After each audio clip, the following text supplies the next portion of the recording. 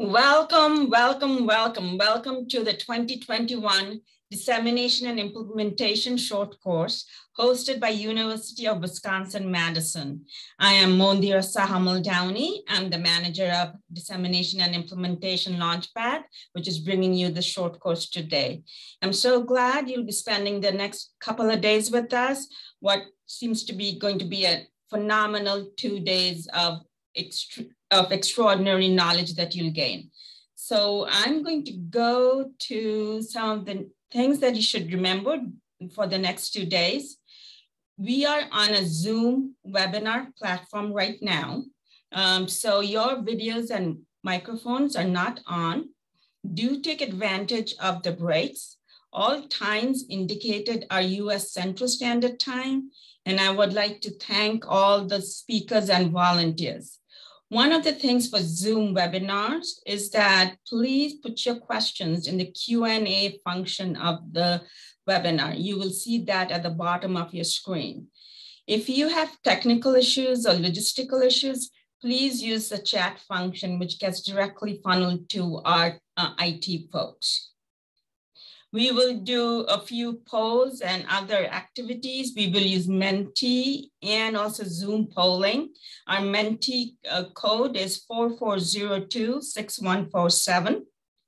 And if you want to download Menti, you can either put it on your laptops or computers, menti.com, or download the app on your smartphones, or even the QR code at the bottom of the screen. You can scan that with your smartphone and it directly go into the Menti app. Then let me give you a couple of seconds to do that. And then let's test this out. Why don't you put in Menti the state or country where you're from and the current weather there? Welcome Memphis, welcome Phoenix, welcome Marshfield, welcome Oakland, welcome Ann Arbor, Seattle, welcome Oregon, San Diego,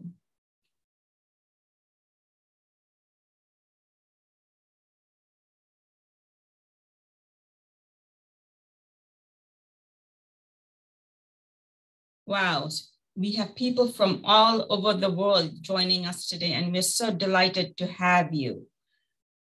Since you've gotten the hang of Menti, I'm going to move on and go through uh, the agenda for the next two days. I will be followed by Dr. Jane Mahoney, who is our esteemed director at DNI Launchpad, and then after that, we have two phenomenal speakers, Dr. Greg Aarons, who will talk about EPIS, and tomorrow, Dr. Lisa Saldana will talk about second coins. Then we'll have a short break. Following, we will have um, a case study panel with some luminaries, Dr. Michelle Chewy, uh, Dr. Melissa Datalo, and Ms. Chris Krasnowski and then we'll have a break and that will end the Zoom webinar. Again, if you have questions, please use the Q&A function. And if you have technical issues, please use the chat function. After the break, we will move on to a different platform, the Zoom meeting. Separate link um, was emailed to all of you. And at that point, we will do breakout rooms and breakout sessions where you will be applying the knowledge you gained this morning from Dr. Aarons and the panelists. Please do stay for the networking sessions at the end of the day. Um, it's going to be very casual um, and it's going to be more of having conversations or questions if you want to ask questions with Dr. Aarons or Dr. Saldana and the rest of the team. This is also an opportunity for you to connect with your colleagues. We'll have breakout rooms that you could enter at any time or leave or have separate conversations. This is a time for you. Tomorrow we'll duplicate what we are doing today, except we are going to showcase Dr. Lisa Saldana, who's going to talk about SIC and the COINs model, then a break, and then some phenomenal panelists, Dr. Jay Ford and Dr. Andrew Quanbeck are going to take the stage. In the evening, after the webinar, we'll do the breakout rooms again, where you will be applying SIC and COINs concepts. And then do stay for the emerging emerging topics in DNI. This is going to be very thrilling. uh, Dr. Saldana and Dr. Aarons are going to talk about the breakthrough research in this field. Today's session is going to be moderated by Dr. Jane Mahoney, and tomorrow's session is going to be moderated by Dr. Heidi Brown. With that, I'm going to turn it over to Jane. Welcome, Jane. Greetings. We're so excited to have um, so many people here for our 2021 DNI short course. So I'm the director of the Dissemination Implementation Launchpad um, here in our uh, Clinical and Translational Science Award Hub, which we call Institute for Clinical and Translational Research. So I'm going to give you a little bit of context about our, uh, our team, our university, uh, Wisconsin, and um, then uh, introduce our speakers for the short course. So here's our DNI Launchpad team. Um, we have a background that includes clinical uh, expertise, engineering, especially systems engineering, business and education. Uh, Dr. Heidi Brown, who will be facilitating, moderating tomorrow. Sheena Hirschfield behind the scenes, making everything work. Thank you, Sheena. Uh, Rachel Maline, again, behind the scenes as our administrative specialist. Thank you. Andrew Quanbeck from Systems Engineering, uh, one of our uh, DNI Launchpad faculty. Felice Resnick, who is our assistant scientist, and she'll be moderating some of the Q the question and answer following um, the various sessions. And Mandira Sahal Muldowney, the leader of our team and our uh, manager with a background in business. So our DNI Launchpad provides uh, education, this short course, a number of other workshops designed for dissemination tools, which you'll find on our website. And um, we provide consultation and to support dissemination implementation research, uh, consulting with our uh, ICTR uh, collaborators and investigators. And finally, we provide implementation support and award to help scale up innovations, um, proven innovations into practice through, it's called the Evidence to Implementation Award. And we also support uh, development of toolkits and other materials to uh, launch innovations into practice. I want to give a big thank you to our um, staff and volunteers helping today, um, and a special recognition to Kate Judge, Jen Kalias, Brianna Kleinfeld, Rose Hennessy Garza, and Brian Dugate. Thank you for your support behind the scenes for all of the short course and then um, we'd like to thank the Wisconsin Partnership Program and our funding for our CTSA from the National Center for Advancing Translational Sciences. Context. Implementation science is all about context. Here's our context in the University of Wisconsin-Madison, founded in 1848. Um, a land that was originally inhabited by the Ho-Chunk and other indigenous nations. We have 20 schools and colleges, uh, 45,000 students. Um, you can see some of our other rankings and um, Pulitzer Prize winners, Nobel Prize winners. But the fun fact is that in January uh, 29, 2019, Kansas classes were canceled, which really never happens because due to minus 40 degree uh, Fahrenheit weather. So um, we're all about the Wisconsin idea, which is getting innovations out to uh, benefit the people of the state and beyond. And this DNI short course is part of that. Moving in from the UW-Madison, we are part of the UW Institute for Clinical and Translational Research. Um, the goal of that is to uh, transform research so that uh, we can move from investigation through discovery to translation into real life practice um, to improve human health. ICTR is, uh, involves uh, five schools and colleges at UW-Madison, and our other partner is the Marshfield Clinic Research Institute, located in the middle of our state. And it's supported by NCATS, the Wisconsin Partnership Program, and UW Health. Turning to our short course, we have 450 plus attendees representing 19 countries and 36 states. 70% uh, are coming for attending for the first time. Welcome, and we hope you continue to attend. Um, most of our uh, participants are, are from academic institutions. And um, in terms of self-rating of D&I research skills, uh, almost half at the beginner level and about 41% at intermediate level. We're representing uh, 75 uh, participants from 30 CTSAs. So welcome to all of you. And this map shows where uh, participants are from. And uh, we especially appreciate those who are in sleep time zone on the other side of the world. And um, just uh, very glad to have uh, people from all over. So I'd like to introduce our uh, guest faculty.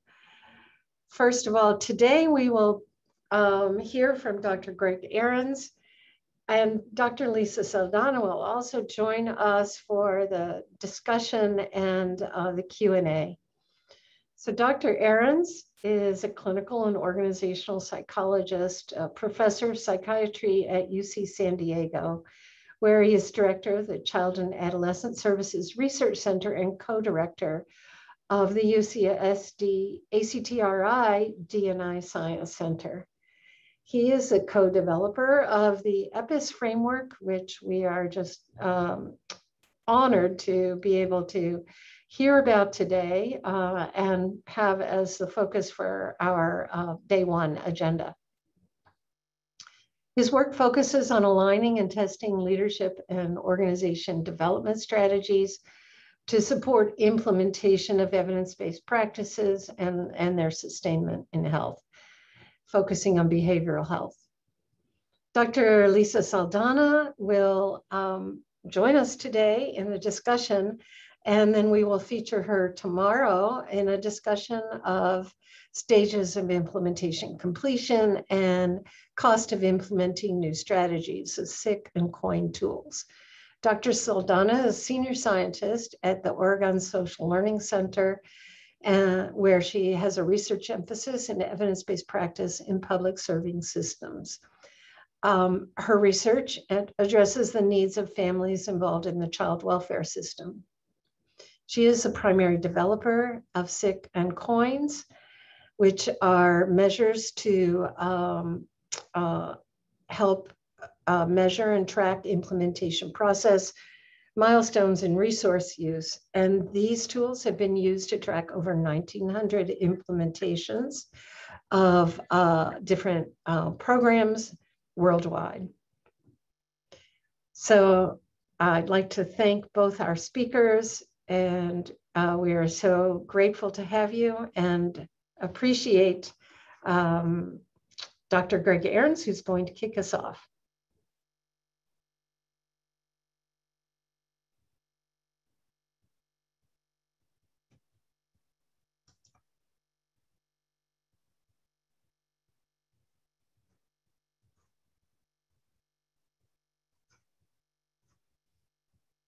You need to unmute. I know, I know. Multitasking here, getting my slides up. Thank you very much. Yeah, I've been kidding with um, with folks. I need to get a T-shirt that says uh, "You're muted" or "Please unmute." So I could benefit from that. So thank you so much for having me. Um, very excited to be part of this, and especially co-presenting and and uh, with Lisa and working with you all at uh, University of Wisconsin and um, actually been out there to Madison and um, presented and have uh, gotten to know some of you and uh, Dr. Quanbeck in particular extremely well over the last few years. So I'm going to be talking about the EPIS framework, exploration, preparation, implementation, sustainment framework, a little bit about the development of the framework and how it's been adapted. And I, I thought that could be useful in thinking about how you take a framework and tailor, adapt it for your purposes. So I, I think some examples of that might be helpful in, in thinking that through. So first, um, I want to acknowledge the support uh, that I've had uh, and the support for the EPIS development as well. Uh, and you can see over on the right, the you know NIMH, uh, NIDA, uh, NICHD, the Fogarty International Center, CDC, and the W.T. Grant Foundation. We've had funding where we've either used the EPIS framework um, from all those institutes um, and in particular, uh, I want to shout out to the NIMH uh, that supported the development of EPIS framework through a grant to John Landsverk, um, who's now at the Oregon Social Learning Center. Um, and that grant uh, provided the, the support for the development of the framework. And then over the development of EPIS and our, our work in the field, have a lot of collaborators uh, Mike Hurlburt and Sally Horwitz in particular in, in the development of the framework, but then a number of other investigators in the US, Australia, and working in um, sub-Saharan Africa uh, that have led to additional developments of the EPIS framework.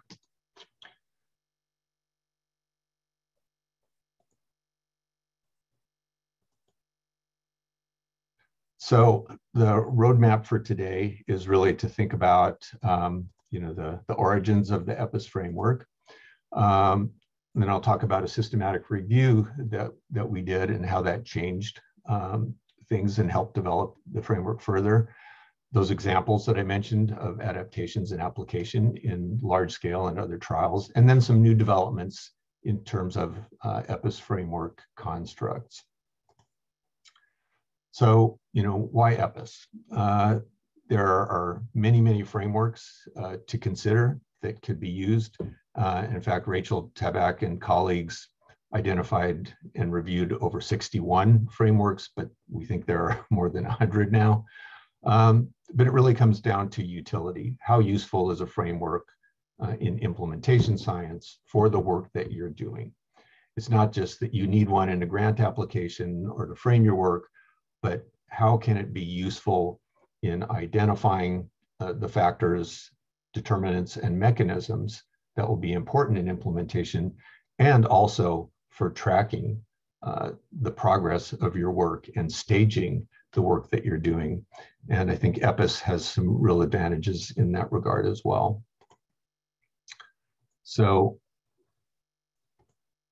uh, EPIS is both a determinant and process framework. And that means that determinants are essentially what are the predictors of implementation outcomes. Uh, so it has constructs with specific factors or determinants, um, but it's also a process framework uh, because it also helps to stage the process. There are key phases, exploration phase, preparation phase, implementation phase, and sustainment phases that help us think broadly about the implementation process. EPIS is multi-level, covering both the outer system context and inner organizational context. And it frames implementation determinants and mechanisms. And when I say mechanisms, I mean you know mediators and moderators of outcomes across levels, so across outer and inner context within each phase, and really enumerates or identifies those common and unique determinants and mechanisms across level and across phases. And it does allow for what we call a recursive process. So for example, you know, you may have gone through exploration and preparation phases and you're in implementation, and then things aren't working quite as you thought, you might have to go back and do some more preparation. So that's the sort of re recursive piece of, of EPIS. So we have a quick poll. This will be um, a poll within Zoom. Uh, if you could just answer the question, how familiar are you with the EPIS framework? Are you exploring, preparing to use it, implementing it now, um, or have you been using it and are sustaining it?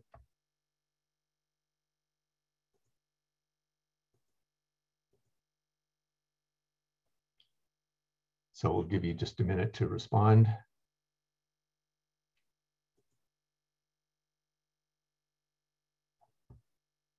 And Sheena, maybe you can tell me when we have enough responses.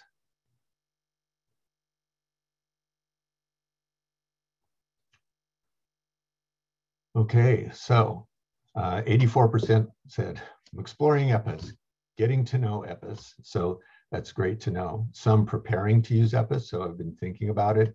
Others actually using it in, in uh, projects. And then some who are sort of experts, been using it for a while. So thank you, thank you for responding to the poll. That's really helpful.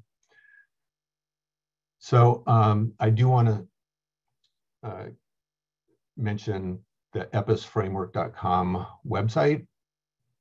Um, it's a great resource for you if you're thinking about using, you know, you can glean some from the publications about EPIS and examples. Uh, the uh, website goes through the constructs, goes through the phases, but also provides some resources and tools, including measures for some of the constructs uh, that you can use. So it's um, there are also some webinars about EPIS specifically um, that were done for NIH and, and, other folks. So you can really um, get more familiar with the framework and kind of explore it a little more uh, on the website.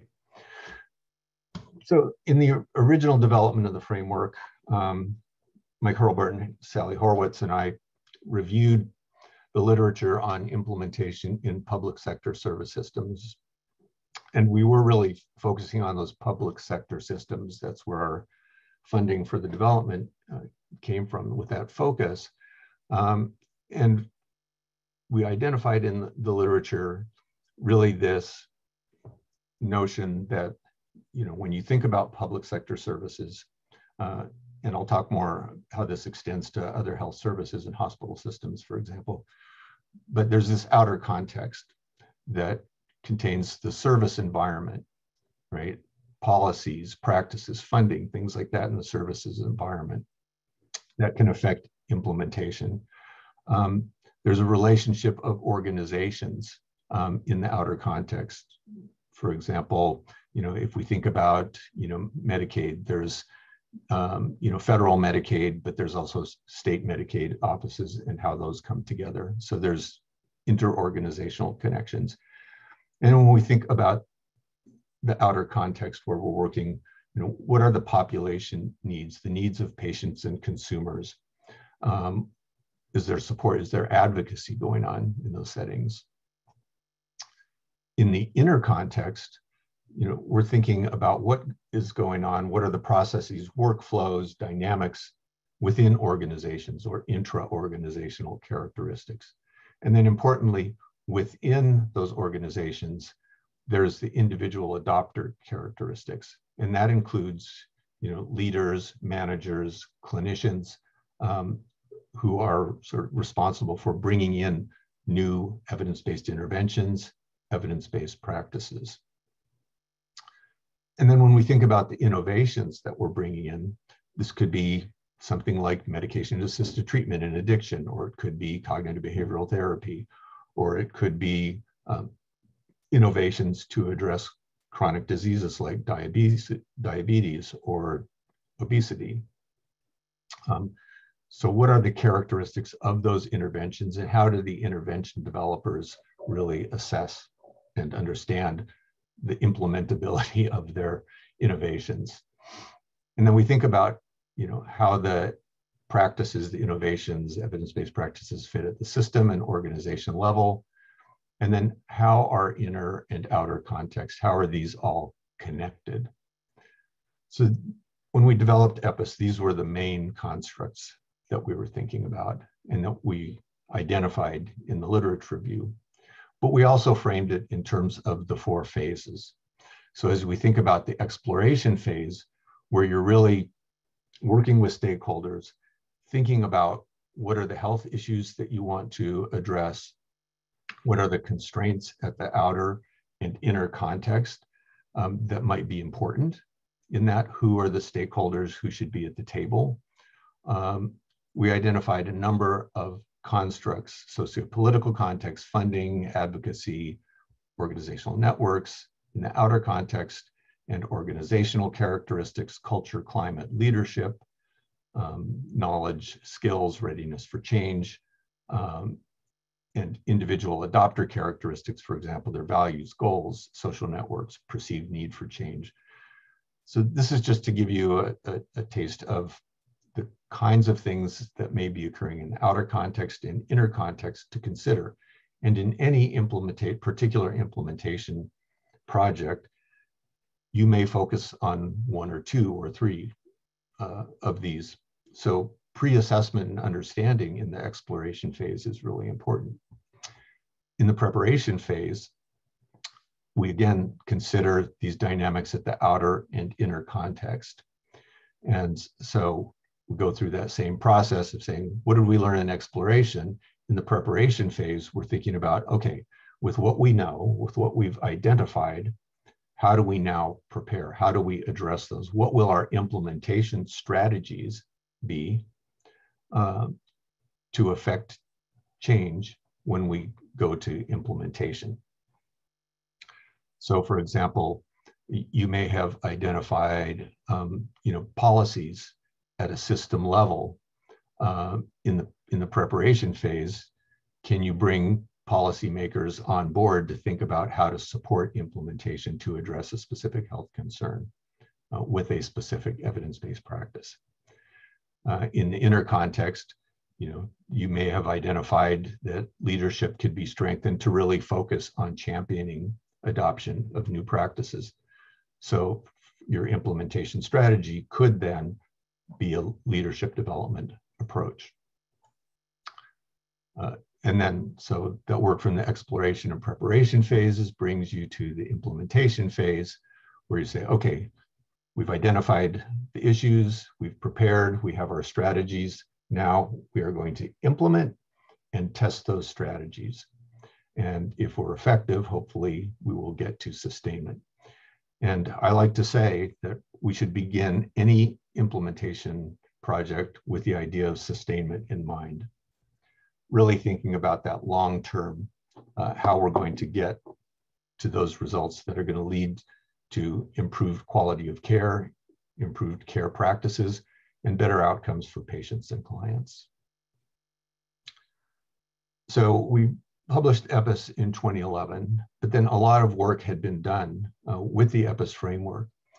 So um, with colleagues and, and the systematic review that we conducted was led by uh, Joanna Moullin, who's a, a, pharmacist and lecturer in, at Curtin University in Perth, Australia now. We undertook a systematic review to understand how EPIS was being used. And that through that review, we identified that EPIS was being used in 11 different countries, many different public sectors, um, but also in many physical health settings, health clinics, women's reproductive health clinics, um, and also other settings um, that were not directly health, but provided some services such as schools and child welfare agencies, substance use treatment programs, and other CBOs. So a broad representation. I don't want to go into much detail about the review, but um, as with many systematic reviews, it's a rather intense and lengthy process, but it was really great to learn about um, all the things that were going on in different countries and uh, with EPIS. And what that led us to is a revised uh, version of the EPIS framework. And we tried to put the phases sort of wrapped around the constructs uh, as we tried to illustrate you know, what we found in EPIS. And so the first thing you'll note is that you know, in the different dimensions, there uh, there's a little more detail. So in terms of outer context, system level, you know, we identified a number of sort of buckets of issues. So leadership, the service environment and policies, funding and contracting, again, those inter-organizational environment networks, the patient and client characteristics, if we're taking a public health approach, thinking about the health needs in a catchment area, for example and still patients, client, and advocacy still present. In the inner context, we also provided a little more detail here uh, in terms of identifying issues such as leadership, the organizational characteristics, for example, culture and climate of those organizations, whether there's existing quality uh, monitoring and support and fidelity monitoring and support, staffing and work processes, and then really those individual differences of people in those inner contexts across levels of those organizations.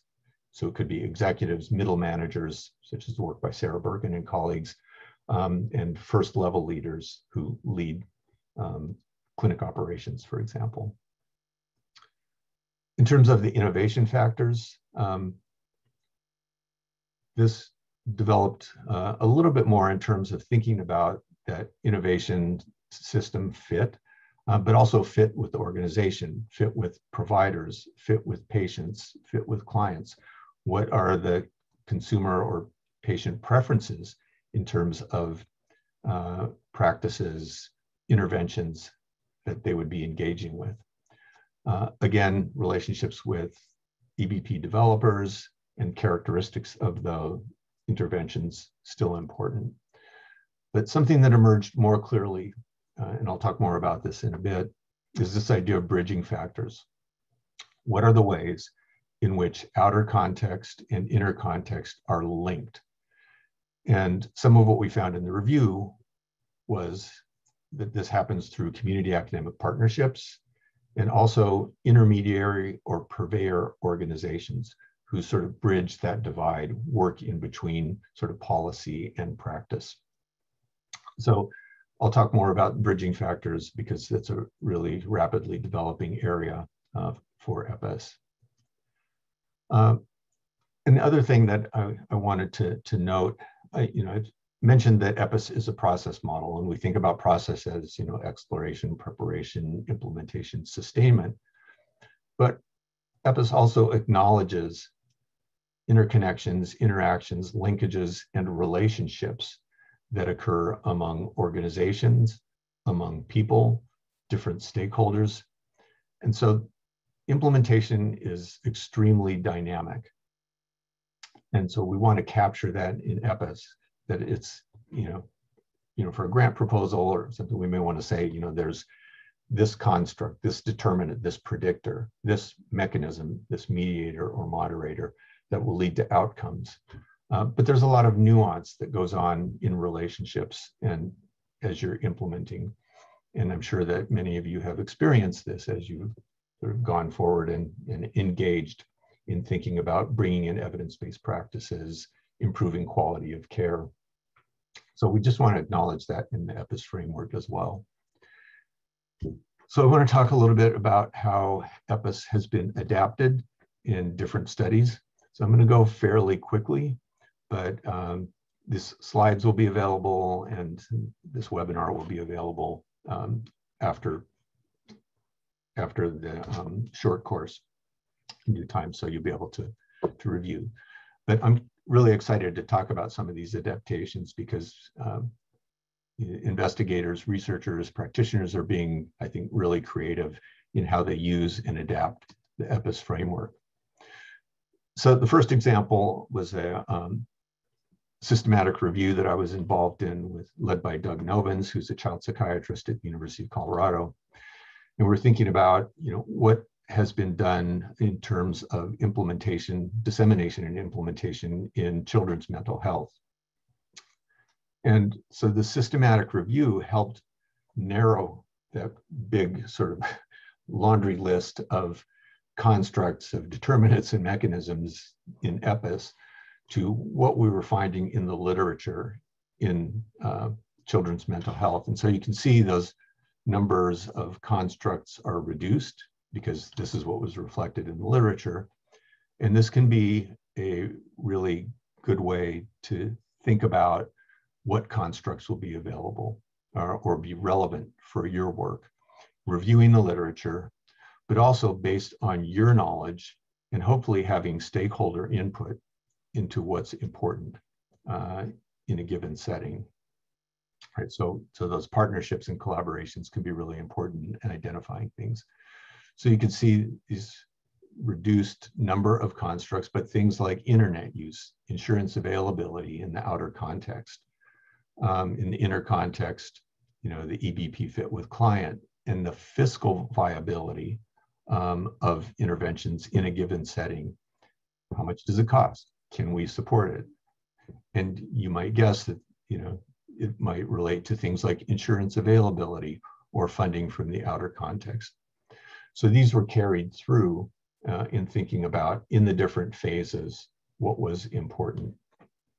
So this is just one example of a way to think about you know, really honing in on the important constructs for a given process or a given project.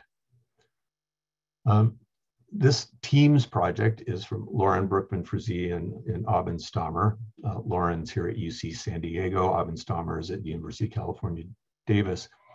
And they have these linked um, large grants to test a leadership focused implementation strategy to implement autism spectrum disorders uh, in schools and in community mental health. So Aubyn is uh, leading the school-based um, uh, grant and Lauren is leading the community-based. And so you can see that they've identified one, here's the innovation, the autism intervention. On the outer context, the server environment is the mental health system for Lauren's for and the school system for Aubyn, and looking at the influences of leadership and the structure of those organizations.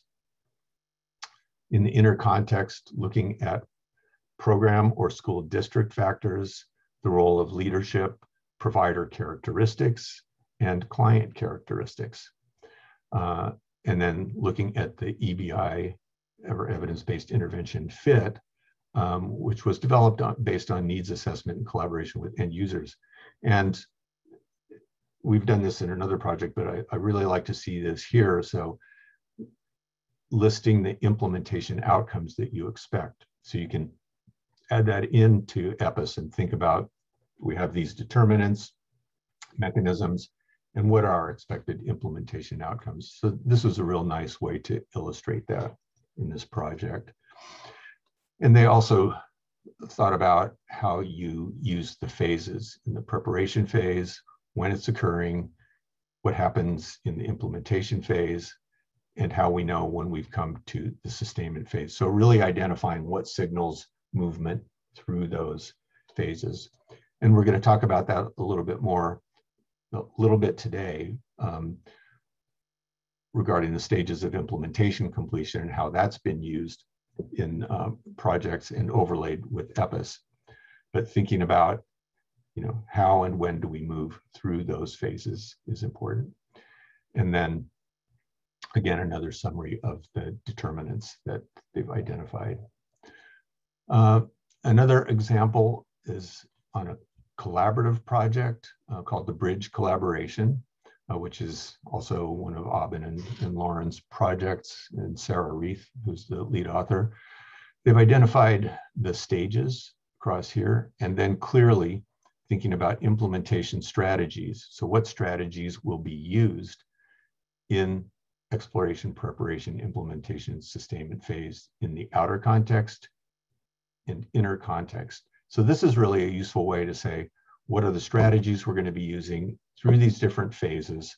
And you can sort of clearly um, identify and communicate how those strategies fit within outer and inner context uh, and how they go across the phases. So this is a really nice example, I think, as well.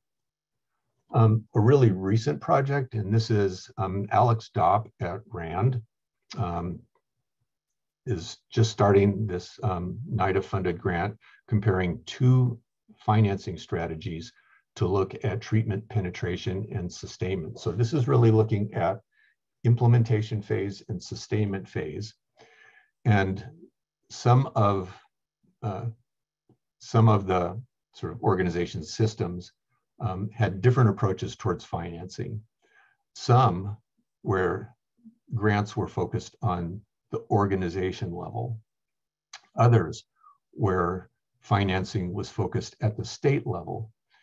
and so the goal of this is using EPIS is to think about, you know, inner context within organization financing strategy, outer context financing strategy of state behavioral health agencies, and how do those financing strategies, an inner context strategy versus an outer context strategy, lead to more effective implementation and sustainment through the process.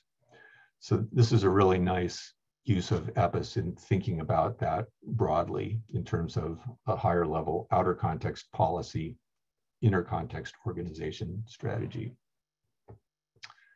Um, Joanna Moullin, who I mentioned before, developed a community pharmacy implementation framework and integrated some of the aspects of EPIS. And, and really like formation and development would be sort of um, early pre-exploration, then thinking about exploration phase uh, in terms of pharmacy recruitment, co-prescribing dissemination, preparing um, and pharmacist training and champion implementation training, although I might consider this to be implementation phase. But I think what the attempt here was to think about an implementation framework that's going to be sensitive to the context of community pharmacy. And so this was a nice uh, effort, nice um, work uh, from Joanna to really develop this and think about what it takes to effectively implement in community pharmacy. And um, so just quickly, you know, the exploration, preparation, sort of testing and implementation phases are represented in her um, figure here, leading to sustainment or sustainability. Um, but also you can see in here, you know, system level, local setting, the pharmacy, which would be inter-organizational context, and individuals within a pharmacy service or a pharmacy, for example. So we see sort of elements of EPIS within the community pharmacy framework. One of the best examples, I think, of applying EPIS was in the JJ Trials initiative. This was a large project funded by the National Institute on Drug Abuse and it involves six NIDA-funded centers with 36 sites and was collaboration between juvenile justice, community-based health organizations, and researchers. And the goal here was to test two implementation strategies. A core implementation strategy um, that was included a needs assessment, data feedback report, behavioral health training, and goal achievement, and then an enhanced strategy that had all of the core implementation components, but added local change teams, facilitators, additional ongoing support, and facilitator training.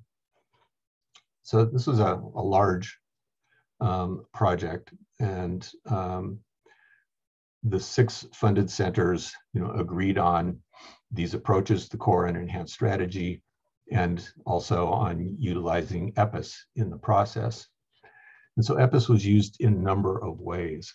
So for example, when we think about the core intervention and the enhanced intervention, you know, what are those components and when do they occur in the phases? So you can see across the top here, exploration, preparation, implementation, sustainment. So in exploration, um, these core interventions were provided for all of the sites in the preparation phase, some additional core intervention uh, activities were provided, but then additional uh, enhanced intervention elements were added in, and those were continued in the implementation phase. And then in the sustainment phase, there were no activities, just measurement. So this is a nice way to sort of lay out how your implementation strategy is being done. So kind of similar to what we saw in that slide by Sarah Rieth. Uh, and this is where we think about where we transition through the EPIS phases. And it's not always this clear, but um, Lisa Saldana was also involved in thinking through these issues. So when we think about the stages of implementation, completion stages, the six stages, where do they occur? And for this project, um, the JJ Trials Collaborative decided that exploration phase was you know, really this number one um, part of the SIC, right? Site engagement, the needs assessment, behavioral health training, goal achievement. Um, in the pre preparation phase, the next two stages of the SIC. Um, and then uh, stage four, moving us to the implementation phase. And stage five, six, and seven of the SIC, really moving us through the implementation phase into sustainment. So, you know, it's it's not perfect and you know, we debated like what stage goes where.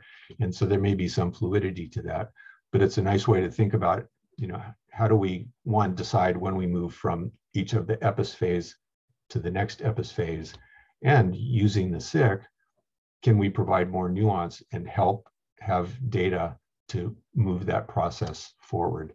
And um, Lisa will talk much more about this tomorrow and, and, give you a lot of information about how, how the SIC is framed, how to use it, and how it might be flexibly applied. Um, EPIS was also used in terms of the measurement plan, what measures uh, were going to be uh, assessed or collected at each time point. Um, so you know, the main primary questions, the main outcomes, receipt of services, service quality, and staff use, exploratory questions, and the mediators and moderators, or what I've called the mechanisms, when will they be measured as well. So you can use EPIS to really lay those issues out as you go forward in thinking about you know, staging your study design uh, and how you're going to communicate what you're actually doing. And then as a measurement framework, you know, we're thinking about it for JJ trials in terms of what is going to be um, measured at these different phases um, and for what purpose, right? So exploring issues at the system level, the community level, the organization level, the staff level, and the client level. So these are sort of the buckets of the different measures and you know all to be collected exploration targeted assessment in preparation implementation and sustainment. And the idea here is to be as comprehensive as possible while also reducing the burden of measurement for participants and participant organizations. As we were meeting and talking about you know the EPIS framework and how it would fit for JJ trials, I was sitting next to a, a juvenile justice system leader and we were we were chatting and she said, you know, I I like EPIS. I think it fits, but you know, in my experience, things happen and they happen again. We revisit, we recycle, we go on, uh, and it's it really is a more of a cyclical cyclical process. And so, as we were talking, I drew this diagram.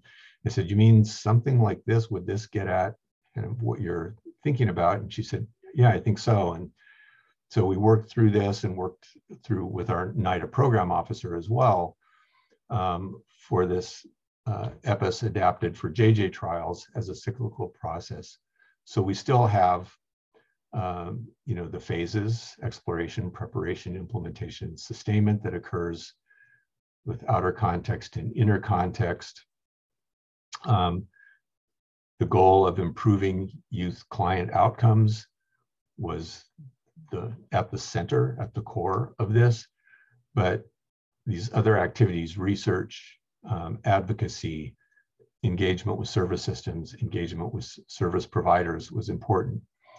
And when I talked about the sort of processes, the things that happen uh, during implementation, this idea that we're you know, collaborating, but often collaboration involves negotiation of organization and individual sort of needs and preferences and how do we come together? How do we coalesce in that process? So we try to represent that here and that we promote entering into implementation with a collaborative problem solving orientation. as we think about how we get through the implementation process. So um, this was sort of the adaptation. And what JJ Trials did was to build this in to the phases and say, where do we think that the cyclical process is going to occur most? Probably between the preparation and implementation phases, because we've done all prep. We start implementing, and then we say, oh, now we've identified some other nuance, some other need that we need to address. And so it's important to think about how we track our adaptations to our implementation strategy so we can report on those. And um, Erin Finley and Allison Hamilton published a nice paper um, that really talked about this idea of doing uh, periodic reflections about the implementation process, which is a structured qualitative approach to document uh, any adaptations or tailoring.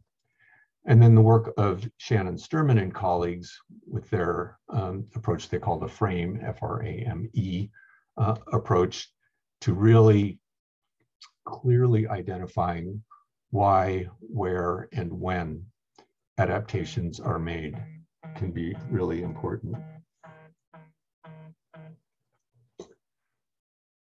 So uh, I'll move on to another example of uh, EPIS, and this was a project we did with NIMH funding and, and actually some CDC funding as well. Um, this notion of interagency collaborative teams as a scale-up strategy. So, and our question was, how can we efficiently scale up evidence-based practice across an entire child welfare service system? And this was done in San Diego County, which is the sixth um, largest county uh, in the country and one of the larger child welfare systems as well. And uh, our question was, how can we be efficient? So how can we create local expertise in an evidence-based intervention? In this case, it was a child neglect intervention called Safe Care. And we did that through developing a seed team that was trained by the intervention developers to certification and then would provide training for teams within the child welfare system rolling out across the entire home visitation system. But this was a, project that you know invoked the intervention developers, also outer context, the United Way providing startup funding, the child welfare system collaborating um, and this is why it's interagency. We had the child welfare system, we had the United Way, we had community-based provider organizations. In coming to an agreement about a strategy to scale up, efficiently roll out, and maintain fidelity through the rollout process by having local expertise that not only did training, but also provided fidelity assessment and coaching as it rolled out. So we frame this in outer and inner context, outer context of the child welfare system and United Way, but the inner context of the organizations and teams providing care. And so in the phases, we thought about in exploration practice fit to local context, the funding that would be needed to implement and sustain, um, preparing cross-level leadership at system, United Way community-based organization level, effective EBP developer involvement. So the EBP developers trained the local team and then gradually withdrew, coordinated communication, and those inter-organizational networks because the teams that were providing care were made up of inter-agencies, multiple agencies, uh, multiple community-based organizations. And so there were a number of activities, education, um, stakeholder development, practice fit assessment, resource supports, focusing on fidelity all the way through, skill development and monitoring feedback. So it's framed activities within EPIS um, and through multiple dimensions.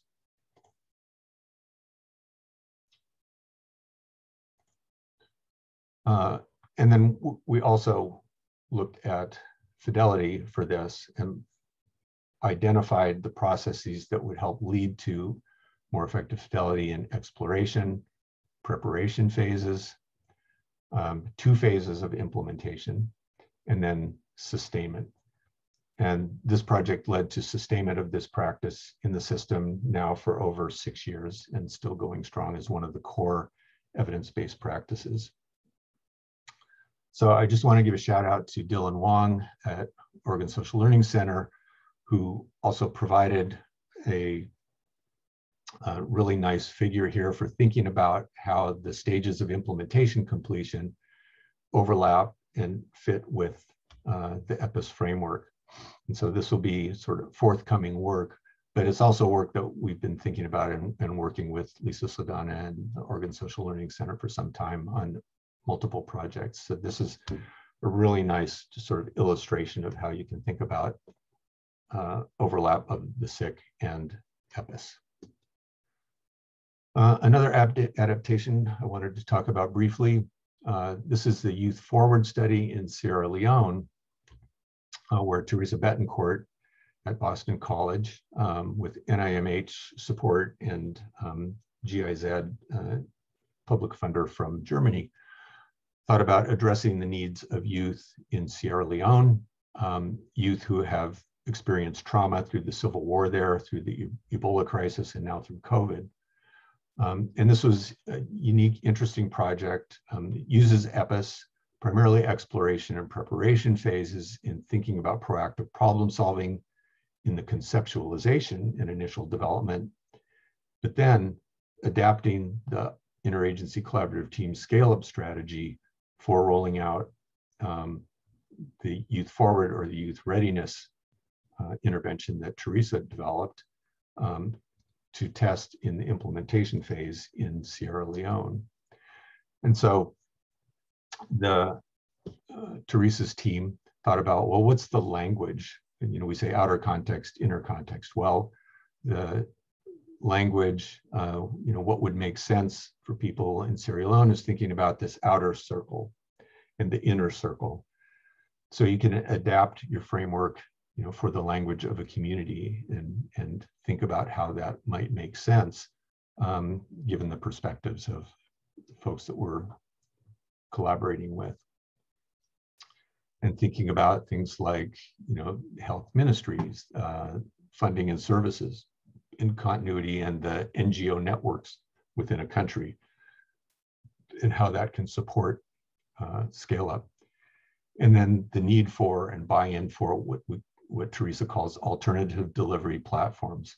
So working with NGOs that maybe had focused primarily on HIV, can they be trained in doing in uh, psychosocial and employment uh, strategy for youth, uh, thinking about their readiness for change, their context, the leadership uh, within those agencies.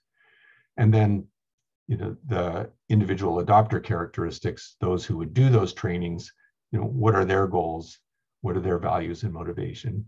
And thinking about that through, through the phases. So Theresa's group did a really nice job in, in adapting this. And then building on some work we did in thinking about dynamic adaptation, uh, we developed this dynamic adaptation process, thinking about you know, doing pre-assessment of outer and inner context in the exploration phase. In the preparation phase, really bring together an implementation resource team that involves your important stakeholders, an advisory committee, leadership team, co-investigators, trainers, youth, um, facilitators, um, who has a stake in this and can they be involved in thinking about the rollout? And so that becomes a core feature through implementation and sustainment phase, um, where in sustainment and getting towards sustainment, data that's collected could be fed back to the implementation resource team to think about, are there adaptations that need to be made as we're rolling out cross country? So this is a really nice example of another adaptation of EPIS framework. Uh, and before we finish up, I wanted to focus on this idea of bridging factors. And I mentioned at the beginning that this is where a lot of work um, is being done. uh, by our group and also led by Rebecca Lengnick-Hall, who is at Washington University in St. Louis, who's really taken this on. And again, those bridging factors are those that cross or link outer system and inner organizational contexts. And this came to the fore um, in, back in 2016, the Nobel Prize in Economics uh, was awarded for work on contracts. And one of the things that we've identified as a bridging factor is this idea of contracts. How do policymakers really communicate what's expected, supported, what's what's funded, um, and that's often done through contracts. So you know we looked at contracting and procurement um, and contracting as a bridging bridging factor. So it's you know one of these new emerging bridging factors, those formalized, structured policy approaches um, and approaches that can communicate a strategic initiative. But also, when you think about the inner context, how do inner context organizations, individuals influence policy through advocacy uh, and through other activities? So it really can be bidirectional. So as I mentioned, you know, Rebecca has been working on this and um, most recently uh, in this year led a paper on this idea of forms and functions. So, you know, a function um, could be to communicate the importance of initiative. Forms it may take could be policy directives, it could be funding, it could be collaboratives, lots of ways that a specific function can, can operate. Um, so, you know, our goal was to identify more types and examples and explore nuances and we identified this idea of bridging factors can be relational, relational ties. They could be formal arrangements, and they can be processes. Um, and so in this uh, paper, we used a purposive case study sampling for diversity across EBP contexts and bridging factor types. We identified for relational ties, you know, partnerships between local government uh, in LMICs and churches, for example, partnerships um, between public sector system and local organizations, interagency collaboration, partnerships between state and local agencies and individual connected university medical centers with the state-run prison, for example, uh, in programming for pregnant and postpartum women. So there are many forms that relational ties can take. And so we'd be looking forward to hearing from you all about what you think are important relational ties. Also formal arrangements, um, and those can be contracting arrangements, policy-driven fiscal incentives, uh, or for example, earmark taxes that connect state and local organizations. Could be examples of formal arrangements. And processes could be things like you know, data sharing that connect local and state health departments or site level accreditation uh, processes that connect program developers with organizations delivering evidence-based practice in order to improve quality. So there's many more. This is an exciting area for EPIS and we really um, welcome folks. If you have uh, these uh, examples, please share them, write about them. Uh, I think the dynamic nature of implementation is something that we need to really emphasize and focus on and bridging factors helps us address that. So, um, you know, I think I've addressed all these points, but you know, the operational of bridging factors we're still developing and the methods for empirically de demonstrating relationships between bridging factors and outcomes is something that, that needs further development as well. So, you know, when you think about applying EPIS in your setting, um, remember, you know, think across all phases, really think about sustainment from the outset. Um, you know, the characteristics of innovations to be implemented are important. We talk a lot about adaptation of those, but it's also adaptation of implementation strategies that's important. And think about those, not just interorganizational networks, but the relationships, the dynamic nature of implementation and how the, the EPIS framework could be helpful in thinking through those issues. And so with that, I just want to say thank you. There are some links here to uh, the EPIS framework website, to our implementation leadership website. And with that, I think we can turn it over to our Q&A. I believe that's what's next. So I'm going to stop sharing now. Thank you.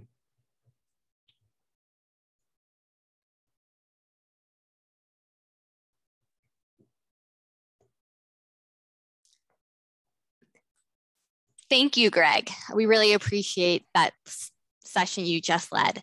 As mentioned, if you have additional questions, please continue to put them in the Q&A section at the bottom of your screen. So I'm going to start out with our first question that has received the most upvotes, which is there's a lot of curiosity around when you might want to use EPIS rather than CFIR or another implementation model. Can you discuss some of the benefits or differences to EPIS? Absolutely. And yeah, I mean, this question comes up a lot, and especially with so folks early in getting into implementation science. There's so many frameworks. Which one should I use?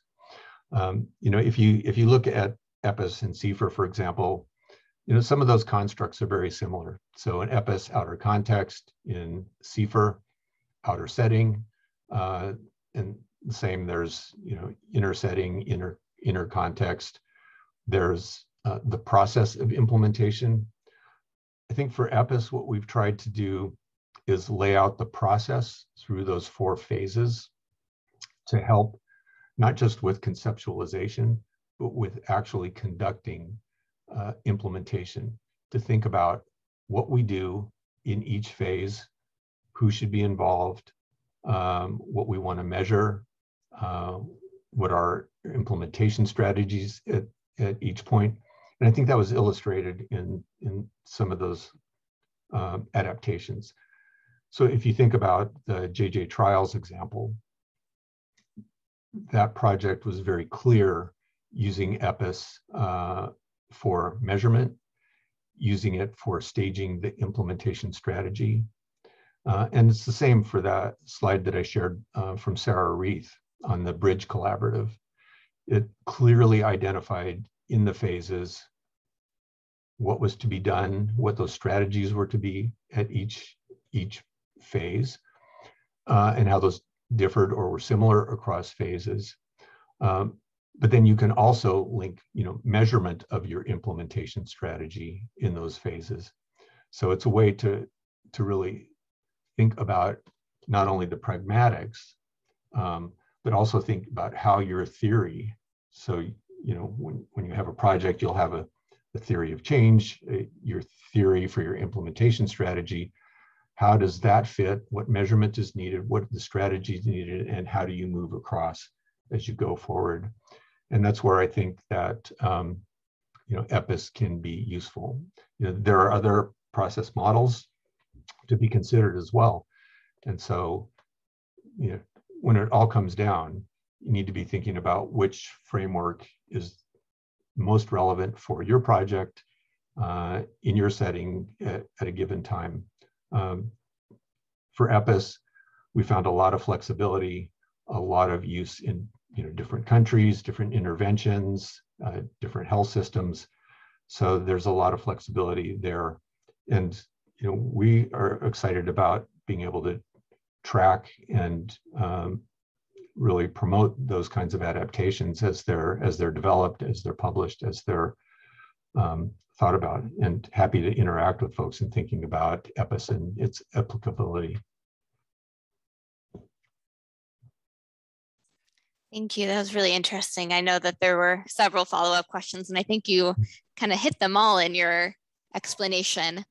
Another question that is coming up is, can we employ qualitative and quantitative study approaches to identify the inner and outer settings factors, especially in preparation and exploration phases?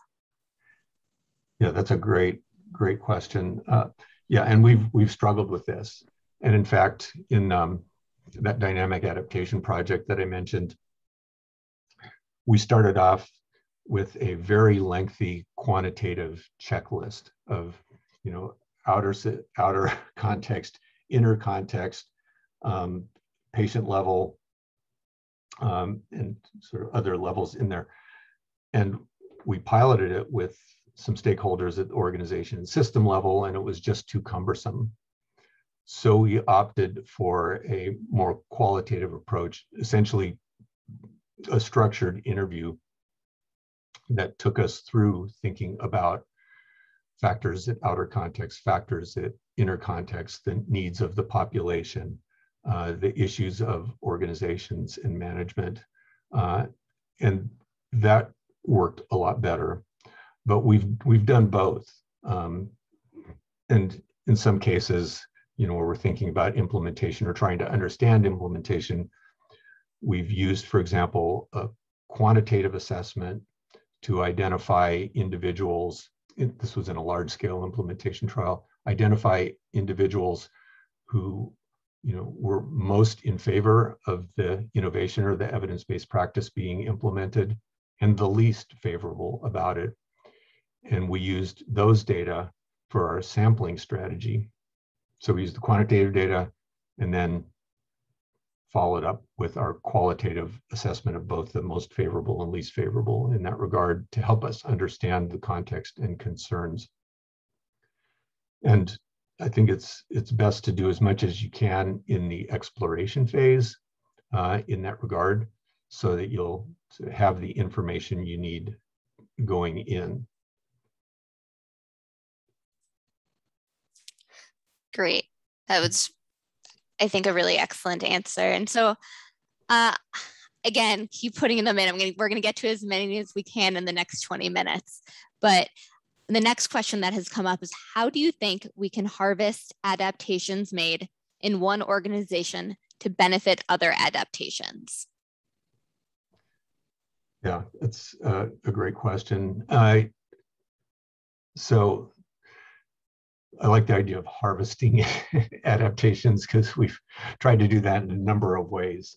And um, you know, we have weekly team meetings, for example, during an implementation project, and we try to adapt um, uh, or understand our adaptations as we go. As we go, and I, I, did a presentation at the Addiction Health Services Research um, Conference a few years ago, where I talked about um, dealing with chaos in implementation. Uh, and there are lots of unanticipated things that tend to happen uh, you know, you randomly assign people and organizations to conditions, but then, you know, someone who is assigned to the active condition is transferred to a team that's in the control condition. So we have a lot of learning from that. We have used that to document over 20 different, what we call chaos scenarios that uh, we not only have our responses to how we deal with it in the early, mid, or latter part of a study, but also how we can use that information to help create covariates for quantitative analyses to help control for some of those unanticipated adaptations or changes. And some of those are just things you have to deal with, some of them are actual adaptations. So for the adaptation piece and documenting that, it's, it's important to have a structure and that's when I mentioned the, um, you know, the frame, which I see another comment about that here, uh, and being able to say, you know, where did it occur? Was it outer context? Was it inner context? Who was involved? When did it happen? And, you know, there are lots more levels and issues within when within frame, but then thinking about how do we tailor implementation strategies to be responsive to the types of adaptations or changes that may be coming in an implementation trial. So it, it is really dynamic and it's, um, you know, some of that we can prepare for in advance, but some of it may be unanticipated. So we, we really need to, you know, the better we can document, I think the better we can explain, we can you know, write about and publish about the experiences of implementation, but then also um, preparing uh, our implementation strategies to be as dynamic as possible. Thank you. So as you mentioned, there is a comment about the frame. So this seems like a logical next part where based on your explanation of the frame and your work with EPIS, are there validated scales or qualitative interviews for capturing adaptations during implementation that you know of? Yeah, so the, you know, the periodic reflections that I mentioned is one structured way that's been recommended. And sometimes that's paired with um, rapid assessment methods, rapid qualitative assessment, uh, in order to use those data in um, in actually tailoring and adapting uh, what you're doing. Um, and I also think the you know the framework group uh, keeps publishing and advancing our understanding of how to sort of fit what we're finding in terms of adaptations in that model. So right now, you know, I mean, we've used, you know, tried to use quantitative measures of, you know, how, how much is it adapted, uh, you know, a little, a lot, you know, anywhere in between. But also, one of the important things in thinking about adaptation of implementation strategies is, uh, you know, do we have good fidelity assessment for those implementation strategies. So how do we know when those implementation strategies are being done as designed? And how do we know when they're being adapted and changed? So that's somewhere that, you know, we've struggled with, you know, are we, you know, do we just get at what are the core elements? Did this happen? Yes, no. Or do we want to know about, you know, if this happened, what was the quality? With which it happened. So it, it gets into that real decisional point about the pragmatics of fidelity, implementation strategy fidelity assessment. I'm not talking about clinical intervention fidelity, but the implementation strategy. How do we how do we understand you know how well it, how well it was done um, and how burdensome the fidelity assessment process is. So in really understanding, I think if we have those fidelity metrics for a given implementation strategy or set of strategies that will help us document whether it's on course off course. But then you want to contextualize you know what were the reasons for that adaptation? How can we prepare for those reasons uh, and issues in the next study? And i think that's where either you know a weekly reflection or those longer term periodic reflections um, are essential to really understand uh, that adaptation and how it fits into something like frame.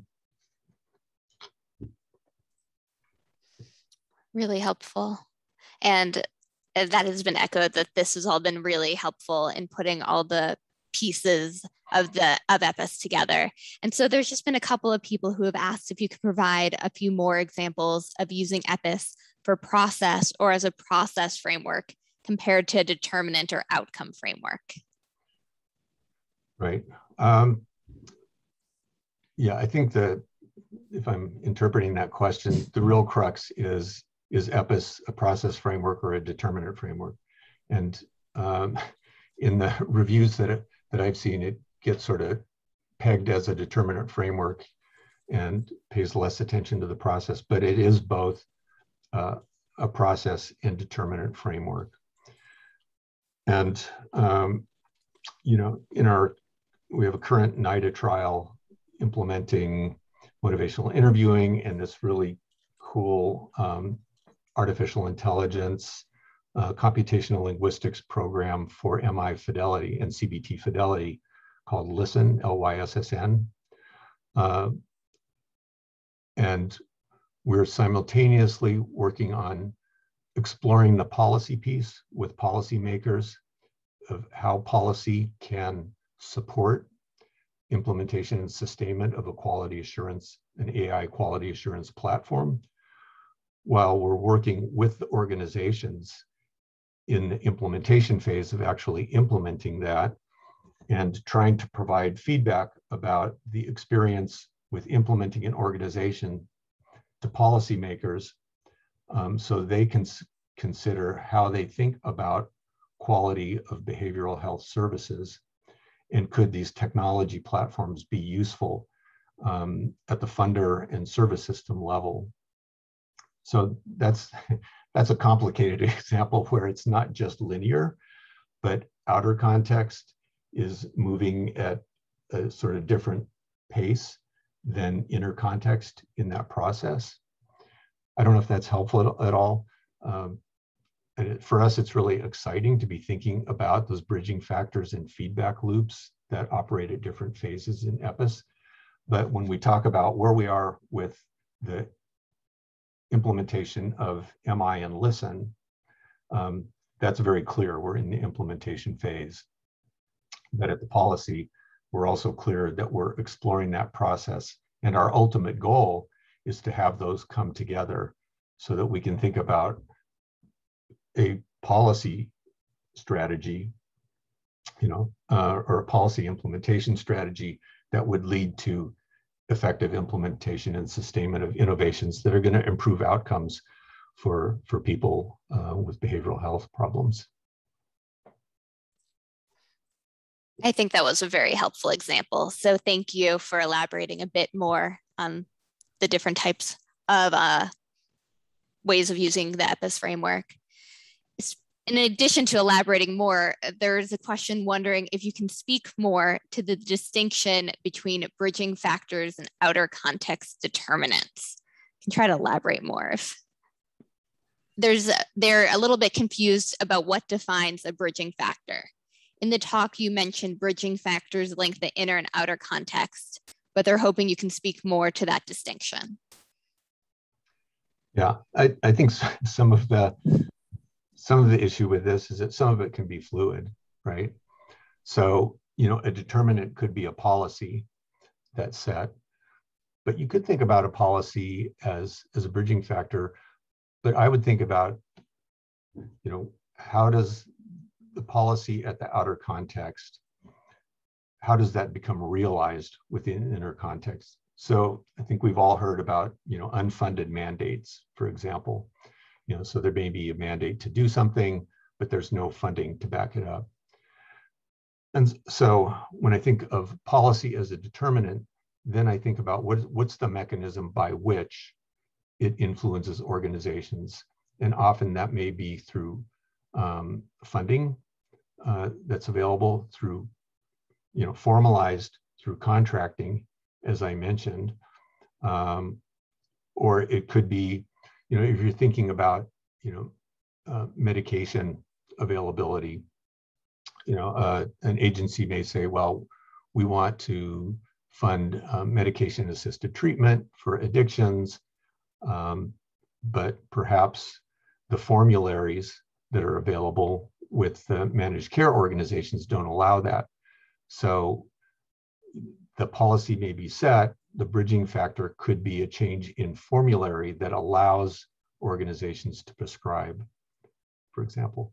So it, and I, I, know this is probably not very satisfying, but it's one of those it depends uh, answers that we have to think about, you know, what that determinant is, how it gets translated, and that can be explored you know, quantitatively, but it can also be explored qualitatively um, in stakeholder perceptions of policy, for example, uh, or looking at the level of collaboration or the degree to which advocacy influenced uh, whether a policy is set. So there are examples of, of, that as well. And that's a bridging factor that goes from inner context to outer context.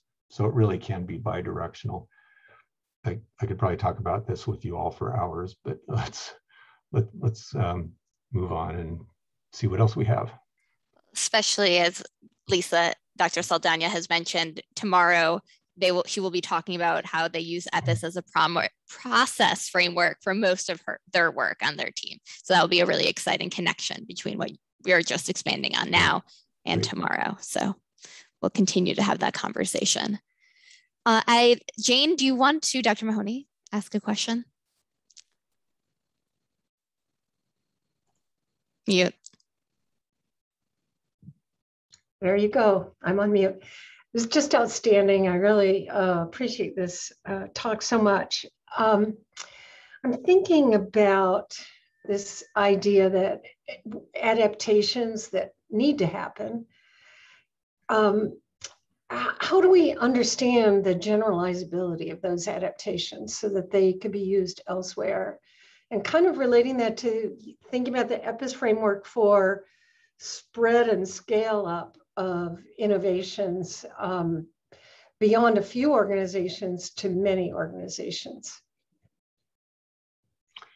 Yeah, well, the generalizability, I mean, that's all the always the million dollar question in a, a grant proposal or paper. How generalizable is it? That's really a function of your study design, I think. Um, well, I think there's two ways. One is you can look at, you know, adaptation as a feature of a, a project. And that's what we did with the dynamic adaptation process because we felt that adaptations would be needed. We were working with counties in California for that process. And, you know, um, Tulare County in the Central Valley is very different from San Diego County in mm -hmm. terms of population. And so adaptations that may have been needed in terms of work processes, uh, in terms of staffing, uh, in, and, and other issues, while they may be somewhat unique uh, to those. I think that I, I just think there are sort of common adaptations that we would mm-hmm. think about, like a family of adaptations yeah. around around workforce, around training approach, those sorts of things, um, and then specific. So there may be some general and specific. I, I have trouble answering that generalizability question around adaptations because they are by nature uh, dependent on the contexts in which you're working. So to the degree that contexts are similar, then you know those adaptations may be helpful. I think you know if you think about you know Theresa Betancourt's work in Sierra Leone, adapting the language of you know outer context, inner context to be more consistent with how um, how people in Sierra Leone think about sort of groups of, of people or agencies uh, that could be a very generalizable adaptation. Not that you would use that same language, but that you, the adaptation would be thinking about the relevance for the community that you're working in. And we thought about this a lot in, you know, I've worked with Doug Novins, as, as I mentioned, he's at the University of Colorado, but also the um, American Indian Alaska Native um, Research Center. And there's a lot of discussions and collaborations about you know, what, what's the meaning of sort of, you know, Western approaches, Westernized clinical interventions, and how those fit with the cultural values of those American Indian communities? And, and not all, but each community has its own perspective, its own traditions, its own history and culture. And so uh, in terms of adaptations, yeah, I think there are some general principles about the adaptation process, um, but those specific adaptations for a given setting may be um, somewhat unique. I mean, this is a great idea for a systematic review, I think. I want to do another systematic review right now, but um, yeah, to, to really track that's a it's a super interesting question, Jane.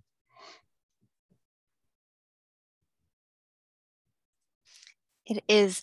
And we only have two minutes left. So I noticed that um, there are several people who have asked if you could, did you publish the chaos theories variables of study design? I noticed you had made yeah. a.